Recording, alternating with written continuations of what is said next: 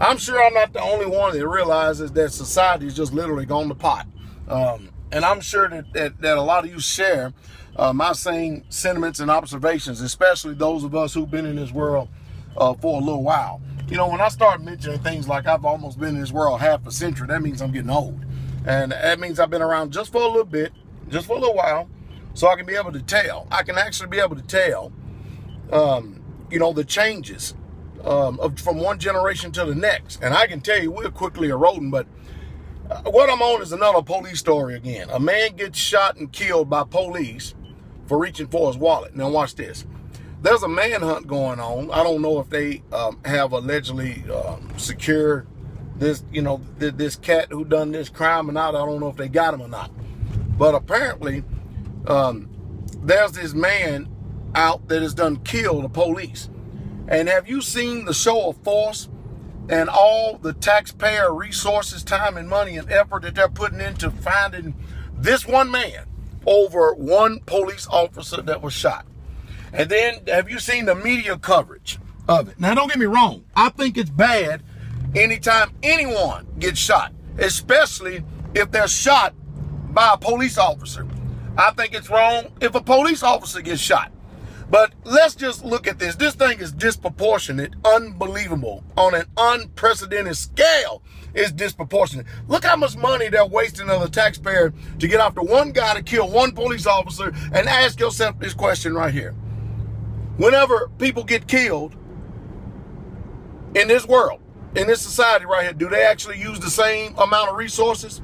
Do they actually use the same amount of oomph? No, no, no. I, I venture to say unless she looks like a good old red bone American and stuff, they ain't making a big stink over it about it at all. And that's just the truth. But I tell you, what a wicked society we get in. And now, you know, hey, we no tell how many millions of dollars we're out just for looking for one guy that shot one police officer. And many of you may say, you know, again, listen to me. It's tragic whenever police officers get shot. It's tragic whenever a police officer, which this seems to be an epidemic in this society, shoots innocent civilians, and then all of them, and that's the reason why there's such an outrage today, and all of them get off with it. And then, of course, it's in the paper. Ferguson police chief apologizes to the family of Michael Brown. Well, you know just what I do. Words are cheap. Um, go ahead, state. Go ahead, state of Missouri, and get ready to dig in your pocket and give them at least $10 million for the loss, innocent loss of their son. Uh, because it's a sad, sad situation. And um, we're getting ready and we're setting up and getting geared up for the Wild Wild West.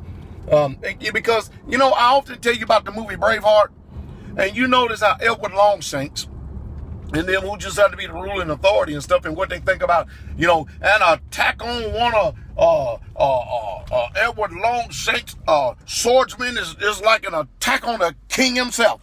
And that's how they view things and stuff. But, you know, whenever they kill you, do you wrong, all of a sudden, um, they get acquitted.